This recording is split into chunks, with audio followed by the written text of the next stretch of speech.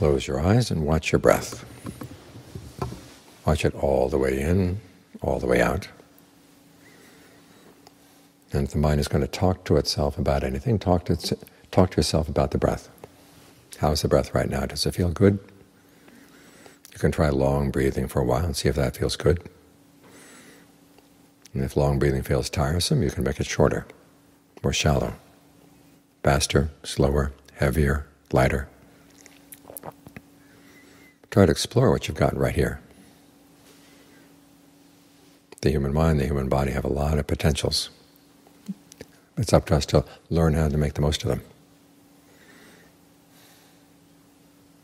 And particularly, you want to learn how to train your mind to be its own best friend. Because when the mind is talking to itself, sometimes it can say very destructive things. That's not being a friend at all. We appreciate other people when they come in, get us out of our bad moods, because the mind has gotten in a cycle that just goes around and around and around in depressing thoughts. And it's good to have somebody come in from outside and pull us out. But you can't depend on other people all the time. Meditation is a technique in learning how to pull yourself out of destructive thinking, out of thinking that just pulls you down reminding yourself that you do have good qualities in the mind.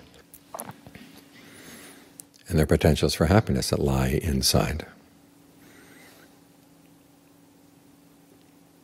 We spend so much time looking for happiness outside, depending on other people, other things outside. That's because we haven't trained ourselves inside properly. So you have to train yourself to be your best friend. Noticing when the mind is feeling down, how do you lift it up? When the mind is scattered, how do you settle it down? When it's burdened with something, how do you release it from its burdens? These are skills that we can master.